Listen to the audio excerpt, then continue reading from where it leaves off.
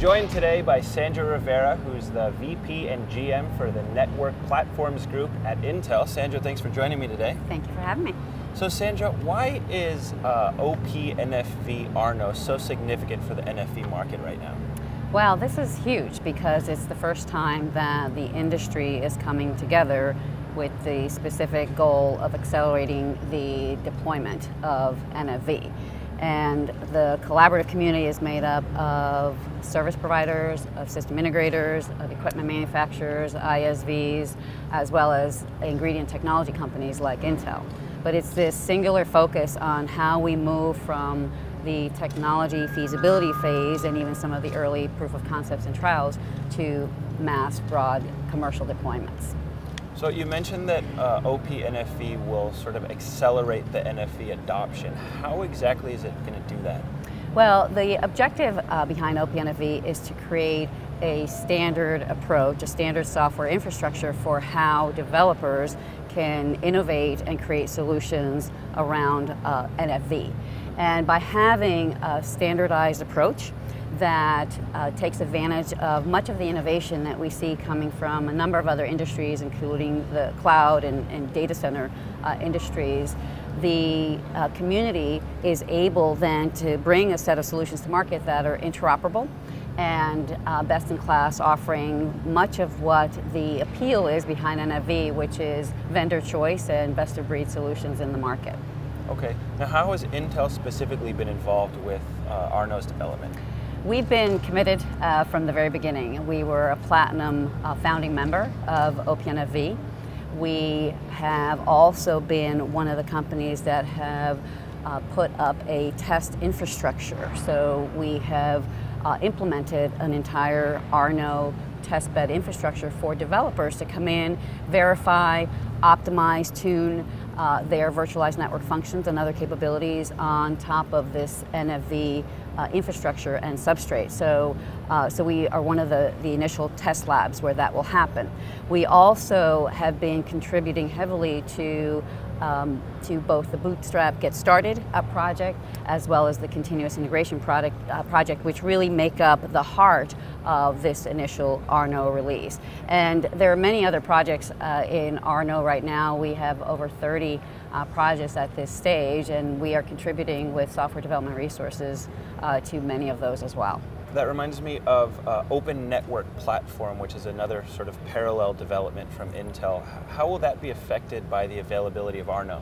Yeah, uh, well, we think it's going to make things go faster. So we started investing in the Open Network Platform, which is our reference architecture for how you take all of these ingredient hardware and software technologies and integrate optimize, and then publish a recipe of how you can actually deploy using this uh, architecture more quickly and more effectively. It's really trying to take a lot of the trial and error out of the effort of, of putting together these pieces. Um, we did that uh, before uh, Arno or before OPNFV was ever envisioned. So now in future releases, we are going to use the foundation of, of Arno um, and future releases of OPNFV to build our open network platform. And all of the contributions that we've been making to OpenStack, Open Daylight, uh, Open vSwitch, our optimizations around DPDK and other uh, capabilities will fold into much of what Arno establishes as a foundation and we'll build up uh, from there. Intel has spent a lot of time and investment in developing a, a like a robust NFV ecosystem. So how do you think that the availability of OP NFV Arno will affect those companies and how are you planning to, to work with your partners to sort of move that forward? Yeah, again, uh, the objectives of Intel, our open network platform, and OPNFV are perfectly aligned. We launched the Intel Network Builders community less than two years ago with a couple dozen members. Uh, right now we are sitting at well over 150 uh, members, including some announcements that were made recently at NFV World Congress with Cisco coming in to join.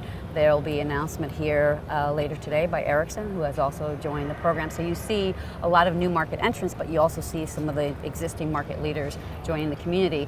And our objective has been, again, to accelerate the move uh, and deployment of commercial solutions of NFV and SDN. So we will take the uh, Arno release, we will um, build upon that in terms of the open network platform releases, and we'll share that openly and readily with our broad community uh, within our ecosystem to again try to stimulate a faster approach to broad scale uh, commercial deployments. And how are you going to do that? How are you going to build build on it? What's next for Arno and, and NFV? So, uh, so future Arno releases are going to focus uh, more on the use cases and the actual challenges as well as the needs to reach uh, performance capabilities and some feature requirements for varying uh, deployment models. Um, as I indicated, uh, the Intel Open Network Platform will build on those future releases and we'll work with our community of uh, Intel Network Builders members to align around these recipes, these reference architectures. They'll come into the OPNFV lab, they'll be able to test, verify, um, check for interoperability, uh, you know, look at some of the challenges in terms of performance and latency, and we will aid them every step of the way. So, Sandra, one last question. We're here at the uh, just before the opening of the 2015 BTE, and last night, of course, was the Leading Lights Awards, and Intel won an award for uh, ONP. Yes, we were thrilled to uh, get that level of acknowledgement from the industry. Of course, uh, we, we like uh, when innovation uh, gets recognized, but we really do need to thank the broad community in our ecosystem ha that have taken that platform and created uh, commercial solutions uh, around it. And so um, this just uh, is more evidence that the market is indeed moving forward and that technology innovation really makes a big difference in terms of just acceleration in the market. So we're super excited. Yeah, it's great to have the acknowledgement and, and validation, I imagine. Yeah. Congratulations on that, thank and thank you, you so much. much for joining us. Thank you.